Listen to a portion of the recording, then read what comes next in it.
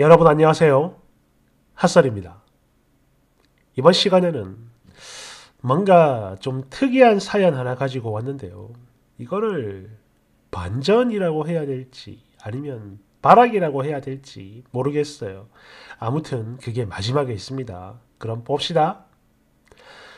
제목 지뿔도 가진 거 없지만 나는 결혼식 로망이 있기 때문에 대충 한 5천 정도 쓸 생각이거든요. 근데 남친이 죽어라 안 된다면 반대를 해요. 남자야, 너 죽는다. 당장 태어라. 원제, 결혼식장 문제로 예비 남편이랑 크게 싸웠어요. 내년 1월에 결혼을 생각하고 식장도 잡으려던 터에 얘랑이랑 크게 싸웠는데 의견이 안 좁혀져요. 여러분이 좀 봐주세요. 예랑이와 저는 지방에서 올라와 서울에 장착, 정착했고 벌써 10년 넘게 살고 있는 중이고요. 그냥 평범한 직장에 그냥저냥 무탈하게 살아왔는데 솔직히 그래요. 뭐 드라마처럼 잘생기고 멋지고 돈 많고 오직 나 하나만 사랑해주는 남자를 만나는 건 불가능하고 아니 그냥 현실과 동떨어진 걸 이미 잘 알고 있기 때문에 현 남친 만나서 지난 3년 동안 사귀어왔던 거예요. 뭐 딱히 특출난 건 없지만 그렇다고 문제가 되는 것도 없으니까요. 여하튼 지난번 남친네 집에 가서 결혼 이야기 살짝 나왔을 때 남친네 어머님은 너가 둘이 알아서 해라 이렇게 말씀하셨고요. 또 양가에서 각각 5천씩 총 1억 정도 보태 주실 것 같아요. 하지만 집은 당신들이 주는 돈과 저희가 모은 돈, 거기에 대출까지 받아도 서울은 아무래도 힘들 것 같아서 상대적으로 저렴한 인천이나 부천 쪽을 알아보고 있어요. 그런데 다 좋은데 문제는 바로 결혼식입니다. 저는요, 다른 건 다 양보하고 모르겠지만 결혼식만큼은 무조건 제 지인들 또 친구들보다 멋지고 좋은 곳에서 하고 싶거든요. 지금 뭐 갑자기 그런 게 아니고 늘 꿈꿔왔던 제 로망이라고요. 그래서 이건 내가 알아보겠다 미리 말을 했었고 그렇게 알아본 곳이 청담동에 있는 웨딩홀인데 한 타임에 딱 한 팀만 하고요. 보니까 여기 방송에도 많이 나오고 블로그 같은 거 찾아보니까 너무 예쁘고 화려한 게 진짜 늘 꿈에서도 그렸던 그런 곳인 거예요. 그리고 식대의 경우 제일 싼 게 알아보니까 한 8만 원대, 뭐 9만 원 그 정도인데 솔직히 이 정도면 괜찮은 거 아닌가요?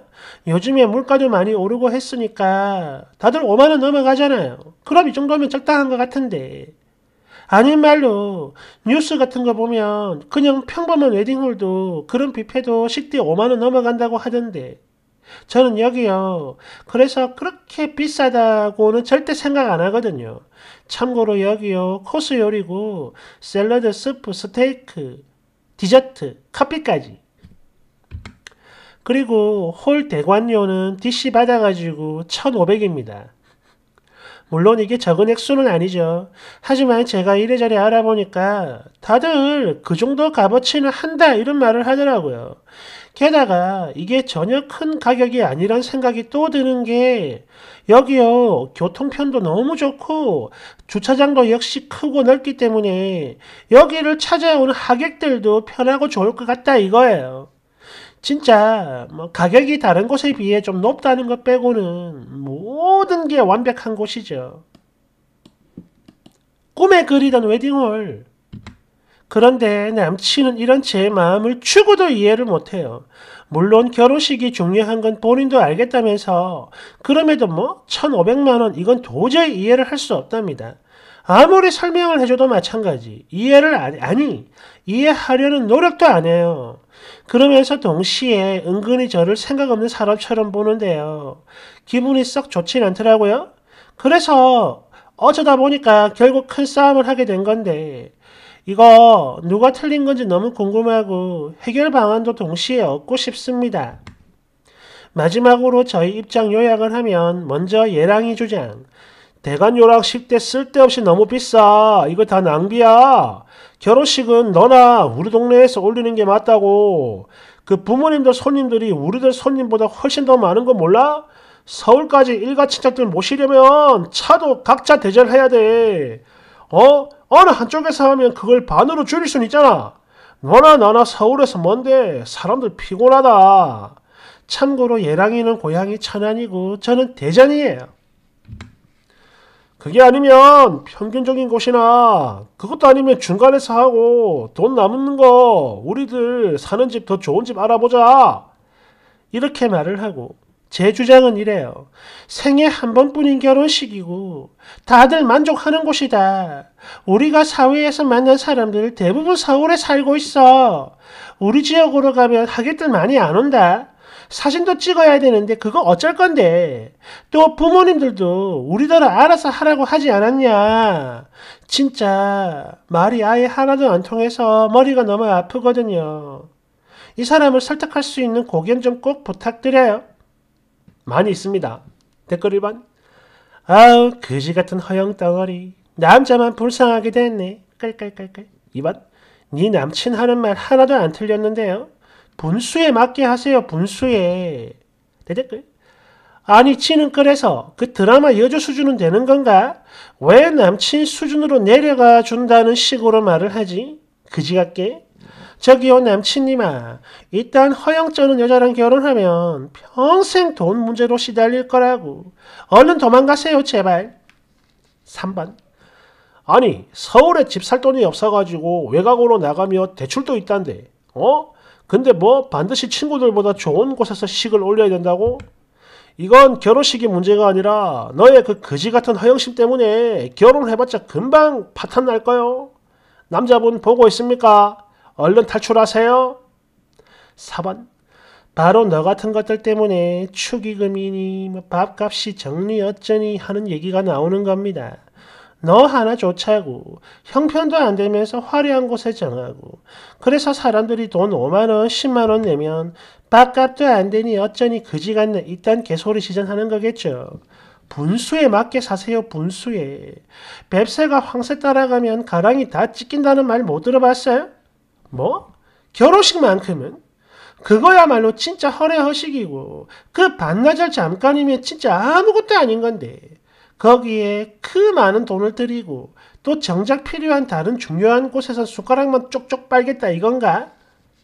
먼저 나한테 능력이 있어야 결혼식도 화려하게 라는 공식이 성립되는 겁니다.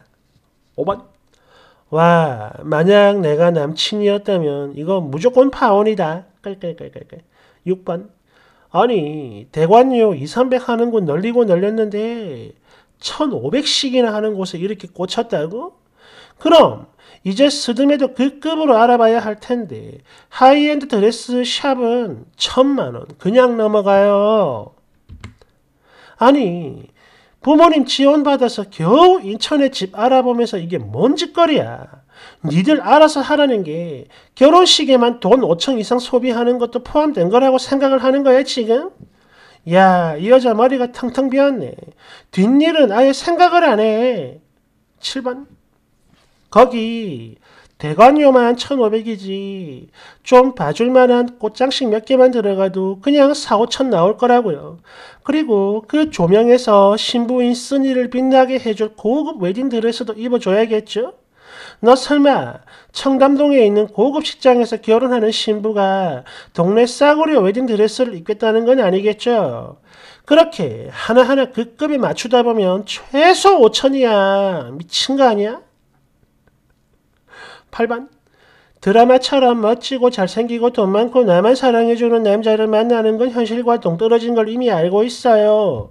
라니 아니 뭔 소리야. 이거는 그냥 당연한 건데 뭔가 대단한 진리처럼 써놨네요. 집은 인천인데 식만 청담에서 하면 뭐랍니까?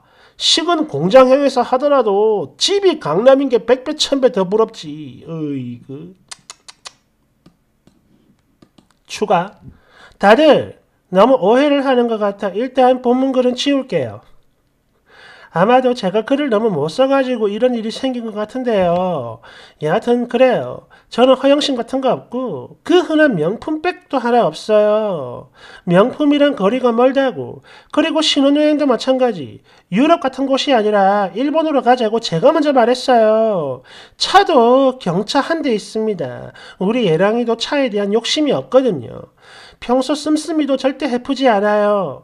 또 양가에서 5천 이상 지원해 주실 수 있지만 여유는 있지만 그냥 얘랑이랑 합의를 본 게 적당히 받고 나머지는 우리가 알아서 하자 이거였거든요.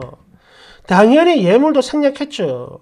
그러나 단 하나 웨딩홀만큼은 내가 원하는 곳에서 화려한 곳에서 하고 싶다는 건데 이게 그렇게 큰 잘못은 아니잖아요. 평생 단 한 번인데 그리고 다들 보면 능력이 어쩌고 저쩌고 이런 소리 하는데 아니 서울에 자가 있고 또 신혼 초부터 그런 집에서 사는 사람들이 뭐 얼마나 있다고 이런 소리를 합니까? 다 끌어모으면 전세 정도 구할 능력은 충분해요. 다만 서울 벗어나면 정상적인 가격의 집을 구할 수 있으니까 그냥 인천 쪽으로 알아보는 거라고요. 양가 보태서 1억, 제 전세금이랑 예랑이 전세금 모은 거 합하면 얼추 3억은 돼요. 절대 적은 돈 아니죠. 그 중에 한 5천 쓰는 거야. 아니, 여기 댓글 다는 분들은 도대체 얼마나 부유하고 돈이 많길래 주제를 알아라? 이런 말씀들 하는 거죠? 정확한 사정은 하나도 모르면서 말이야. 물타기 해가면서 사람 나쁘, 나쁘게 몰아가지 마세요. 뒤에가 진짜입니다. 댓글 1번. 그래서 영혼까지 끌어 수중에 돈이 딱 3억 있는데 결혼식에다 5천을 태우는 게 정상이라는 거냐 지금? 2번. 글을 못 써서 그런 게 아니고요. 그냥 네 생각이 썩은 거예요. 말 똑바로 하세요. 3번. 아니 친구들보다 좋은 곳에서 결혼하고 싶다는 거 이거 자체가 이미 허영심 아닌가요? 마음만 먹으면 서울에 구할 수 있다곤 하지만 집 구하기 힘들다고 외곽으로 빠지면서 예식장에 기본료만 1,500을 갈아 넣겠다는 그 생각을 하는 것 자체가 미친 거죠. 또 신혼여행도 일본으로 가면서 그런 사람들이 그런 곳에서 결혼하면 그게 더 웃기지 않나요?